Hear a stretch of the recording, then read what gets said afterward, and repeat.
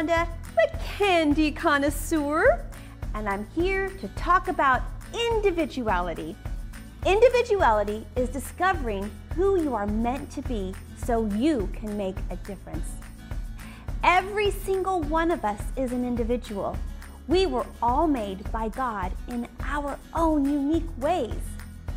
God made us to praise Him. When we sing, we can celebrate who God is and what He's done. Let's get ready to sing and worship today.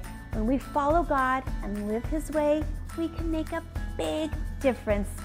Sing this with me, my friends.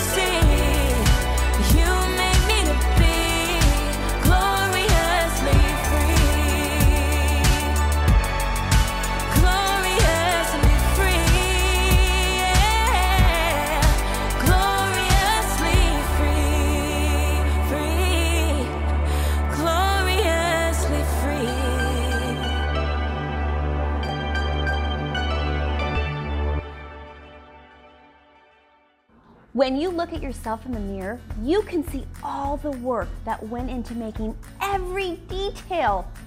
It's not just what you look like that makes you an individual. Your personality sets you apart from everyone else in the whole world. You should really look at yourself sometime. Really look at yourself on the inside and on the outside. Like, when I look at myself, I think I'm pretty cool. Like a big bowl of ice cream. And there are things about myself that I like. I love that I'm good at problem solving. I have this ability to understand when something is wrong and immediately think of ideas to fix it. Oh, and I think I'm pretty funny. Like, have you ever heard this one before? Knock, knock. Right. I need somebody in the room for that joke. Anyways, the punchline is, I didn't know you could yodel. oh, well, I think I'm pretty funny. Well, Actually, now that I'm really looking, I'm thinking there are things I don't like about myself. Like sometimes I procrastinate. That means that when there's something that needs to be done by a certain time, sometimes I wait till the last possible minute to get it done. Oh, and sometimes I have a really bad temper. When someone disagrees with me about certain things, I get really angry really fast. And sometimes, not all the time, but sometimes I can be really, really selfish.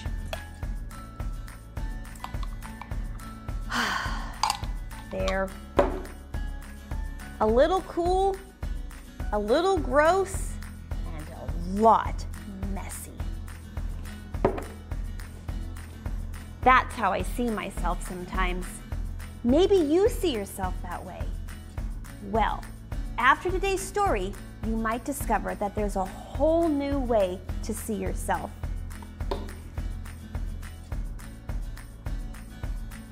Huh, right. Like I'm really gonna eat this. See?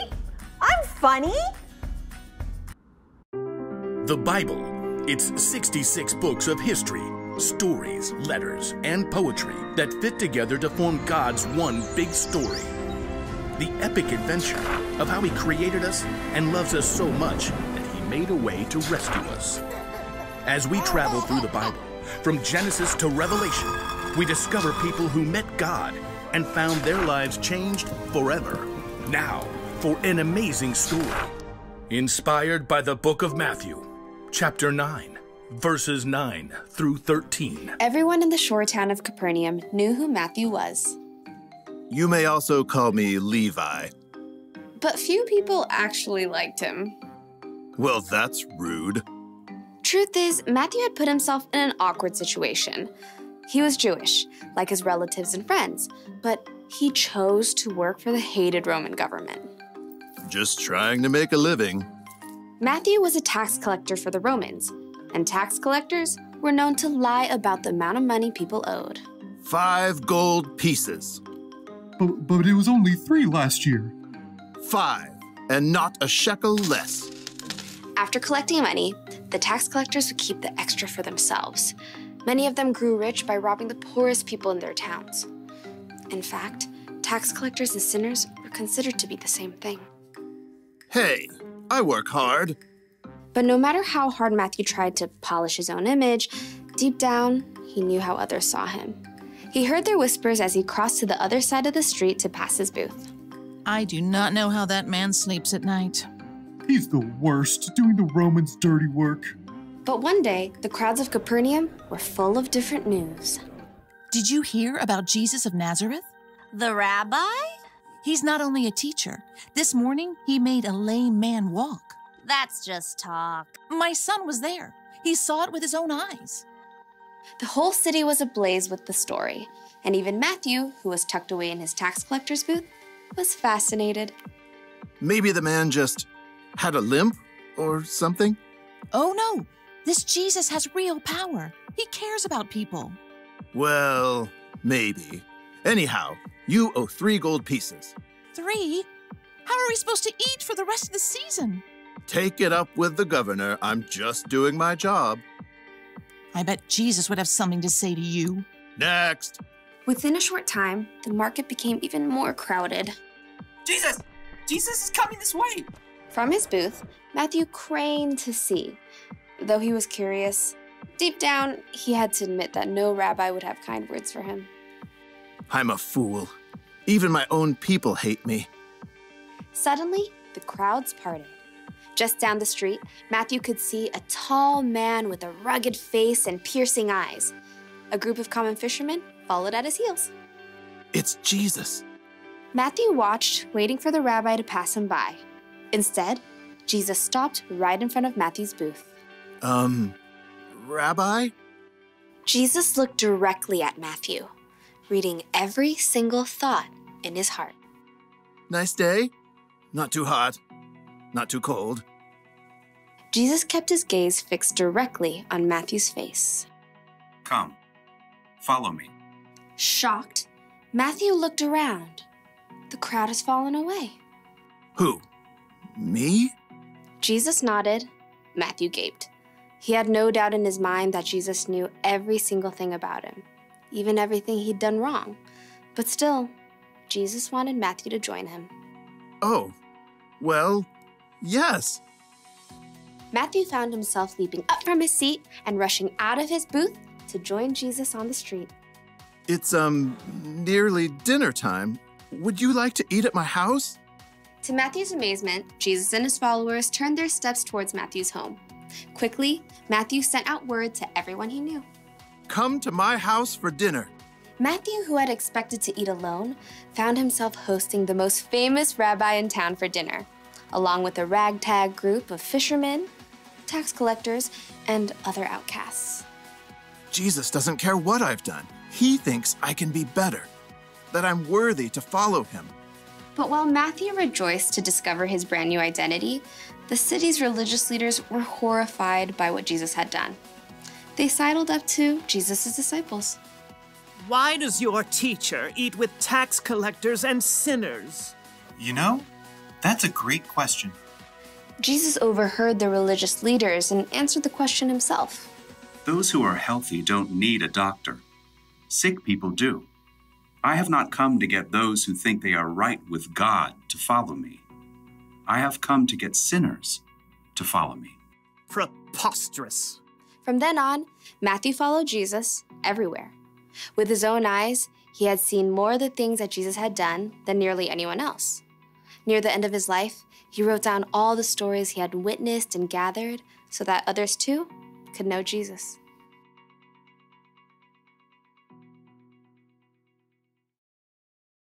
Before he was one of Jesus' disciples, Matthew was a tax collector. Tax collectors were kind of known for cheating people out of their money. Other people would have called Matthew a sinner, and it would have been true. Matthew, like everyone else in the world, sinned, which means that he did things God wouldn't want him to do. I wonder if Matthew saw himself this way a little gross, a little messy. He might have even felt ashamed, even worthless. But then something happened. He met Jesus. Jesus chose Matthew to follow him, even though Matthew sometimes did things he shouldn't, even though he was a sinner. You see, being around Jesus changed Matthew. Jesus didn't see Matthew as a bad guy who had done wrong things. Jesus saw Matthew as someone who was important and valuable and made in the image of God. That's how Jesus sees us. He loves us so much. He knows that God created us with individuality so we can show His love and show who He is to other people. And we can choose to follow Jesus just like Matthew did. Jesus wants you to follow Him too. He wants you to know Him and to trust Him. And it doesn't matter what you've done or how you see yourself. When Jesus died on the cross, He took the punishment for our sins. You are forgiven, and He loves you just as you are. Mess and all. It's almost like when Jesus looks at you, He sees through all the mess. He sees past your mistakes. He sees the individual you that God created. When you believe in Him and choose to follow Jesus, it can help you see yourself through Jesus' eyes too. The one thing to remember today is this knowing Jesus changes how you see yourself.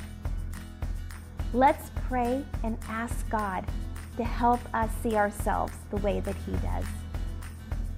God, thank you for loving us and creating us in your image. Thank you for sending Jesus to be our Savior.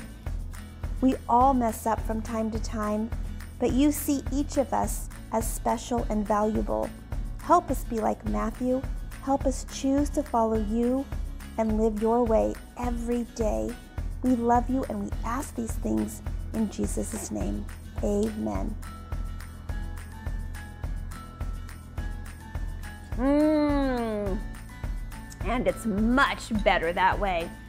I definitely like myself a lot better without mayonnaise. Ugh. See you next week, kids!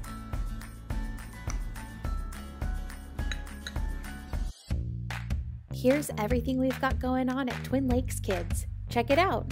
Hi friends, I have a super exciting announcement. Every Friday on our social media page, we want to feature one of you. We're calling it Friend of the Week. If you want to be that friend, email us at kids at tlc.org and we'll send you more information.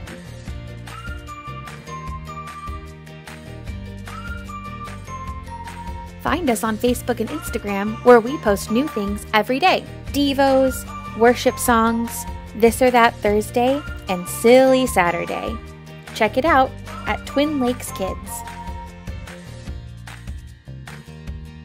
Do you have a prayer request? We are praying for our Twin Lakes Kids families. If there are any specific prayer requests you have, head to tlc.org/kids to send us yours.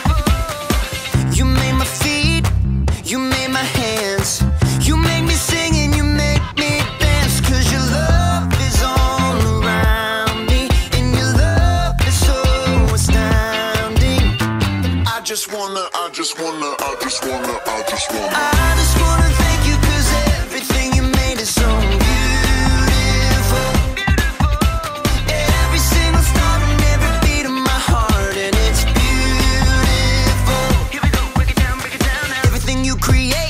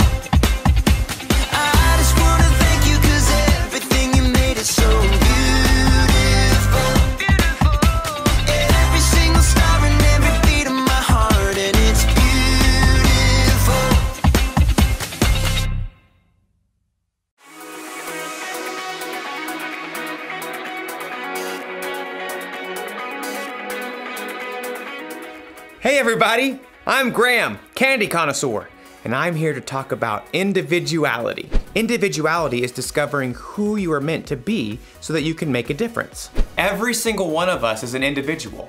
We were all made by God in our own unique ways. When you look at yourself in a mirror, you can see all the work that went into making every little detail. I see you! And it's not just what you look like that makes you an individual. Your whole personality sets you apart from everyone else in the world. You should really look at yourself sometime. Really look at yourself inside and out. Like when I look at myself, I think I'm pretty cool. like a big bowl of ice cream. Uh, and there are things about myself that I like. I love that I'm good at problem solving. I have this ability to understand when something is wrong and immediately think of ideas to fix it. Oh, and I like that I'm funny.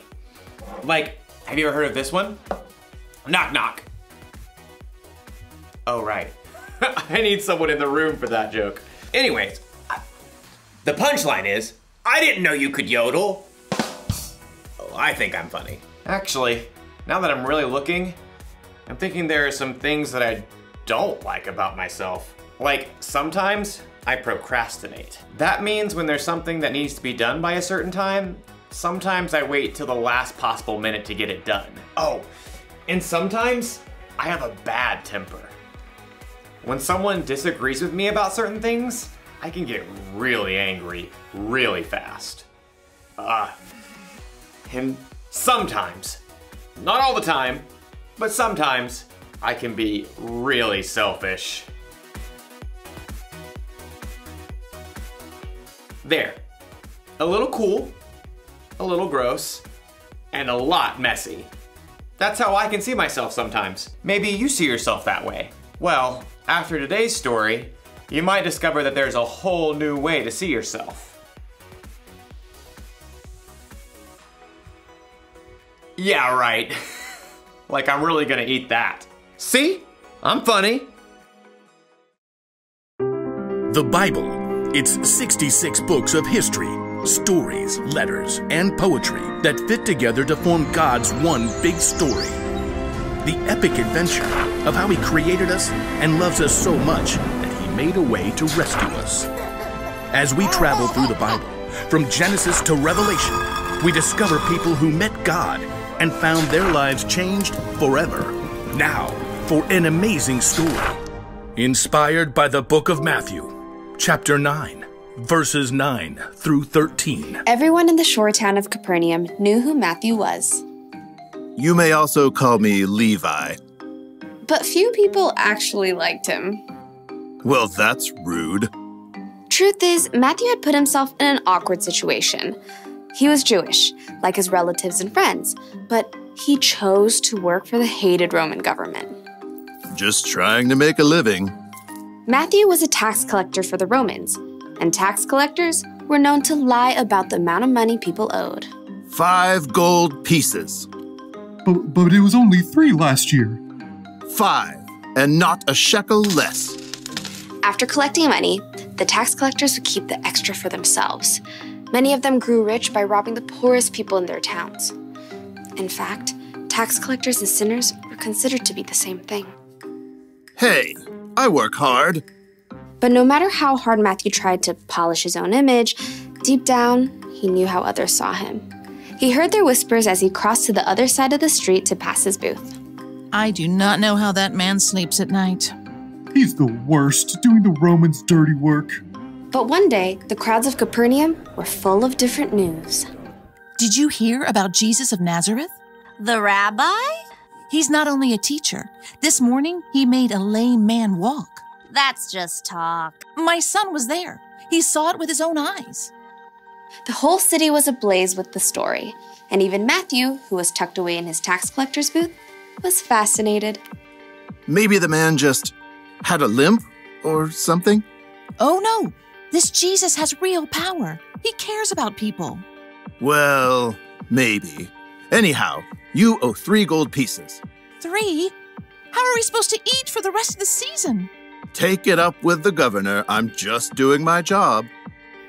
I bet Jesus would have something to say to you. Next. Within a short time, the market became even more crowded. Jesus! Jesus is coming this way! From his booth, Matthew craned to see. Though he was curious, deep down, he had to admit that no rabbi would have kind words for him. I'm a fool. Even my own people hate me. Suddenly, the crowds parted. Just down the street, Matthew could see a tall man with a rugged face and piercing eyes. A group of common fishermen followed at his heels. It's Jesus. Matthew watched, waiting for the rabbi to pass him by. Instead, Jesus stopped right in front of Matthew's booth. Um, Rabbi? Jesus looked directly at Matthew, reading every single thought in his heart. Nice day? Not too hot. Not too cold. Jesus kept his gaze fixed directly on Matthew's face. Come, follow me. Shocked, Matthew looked around. The crowd has fallen away. Who?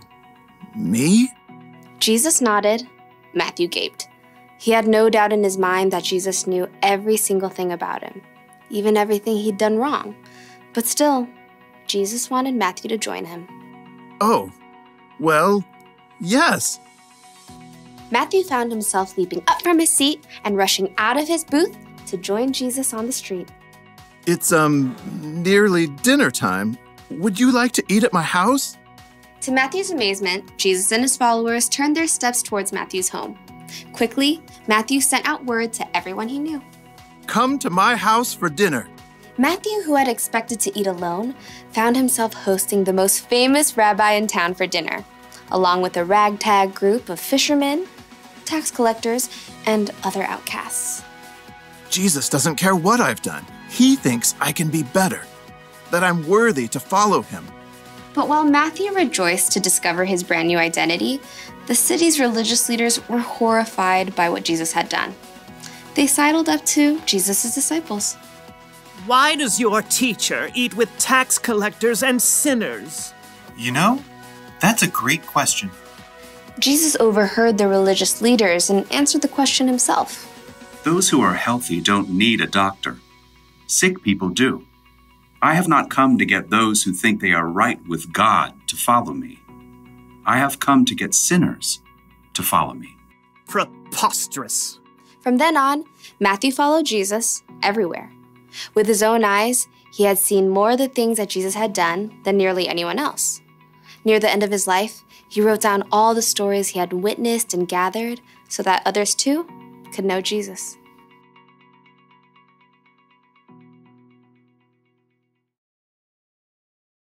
Before he was one of Jesus' disciples, Matthew was a tax collector. Tax collectors were kind of known for cheating people out of their money. Other people would have called Matthew a sinner, and it would have been true. Matthew, like everyone else in the world, sinned, which means he did things that God wouldn't want him to do. I wonder if Matthew saw himself this way. A little gross, a little messy. He might have felt ashamed even worthless. But then something happened. He met Jesus. Jesus chose Matthew to follow him, even though Matthew sometimes did things he shouldn't, even though he was a sinner. Jesus wants you to follow him too. He wants you to know him and trust him. And it doesn't matter what you've done or how you see yourself. When Jesus died on the cross, he took the punishment for your sins. You are forgiven, and he loves you just as you are, mess and all. It's almost like when Jesus looks at you, he sees through the mess. He sees past your mistakes. He sees the individual you that God created. When you believe in and follow Jesus, it can help you see yourself through his eyes.